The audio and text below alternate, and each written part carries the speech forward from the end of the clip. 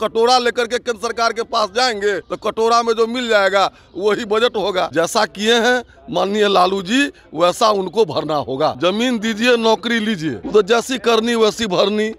नौकरी और ज़मीन। ज़मीन दीजिए, नौकरी लीजिए।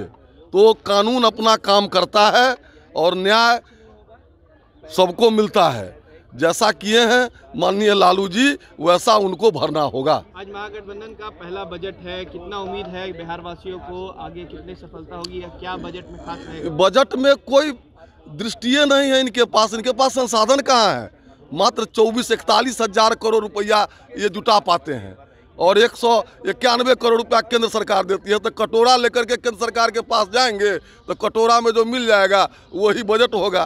क्योंकि संसाधन जो है वो तो जा रहा है इनके चहतों के जेब में तो कहाँ से संसाधन आवेगा? इसलिए बिहार का जो हाल है वही हाल होगा। आठ लाख युवकों को नौकरी भी देने की बात कर रहे हैं। अच्छा पहले तो दस लाख पहले ही कैबिनेट में दे रहे थे अब बीस कैबिनेट हो गया। तो इसलिए उन लोगों के बोली पर मत जाइए।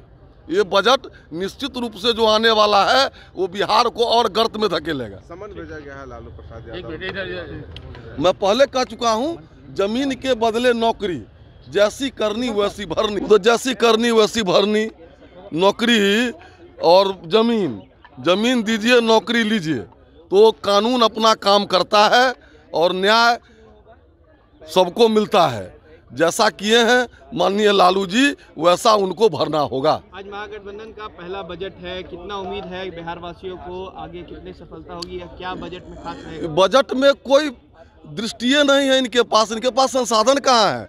मात्र चौबीस इकतालीस हज़ार करोड़ रुपया ये जुटा पाते हैं। और एक सौ इक्यानवे करोड़ रुपया केंद्र सरकार देती है तो कटोरा लेकर के केंद्र सरकार के पास जाएँगे तो कटोरा में जो मिल जाएगा वही बजट होगा। क्योंकि संसाधन जो है वो तो जा रहा है इनके चहतों के जेब में तो कहाँ से संसाधन आवेगा? इसलिए बिहार का जो हाल है वही हाल होगा। आठ लाख युवकों को नौकरी भी देने की बात कर रहे हैं। अच्छा पहले तो दस लाख पहले ही कैबिनेट में दे रहे थे अब बीस कैबिनेट हो गया। तो इसलिए उन लोगों के बोली पर मत जाइए।